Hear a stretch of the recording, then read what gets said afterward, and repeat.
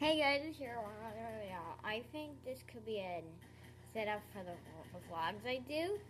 Uh, um, at the start, um, tell me in the comments if you like it.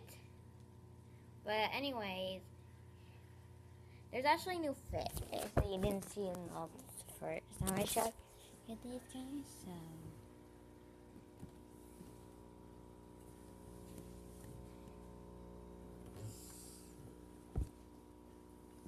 So you that.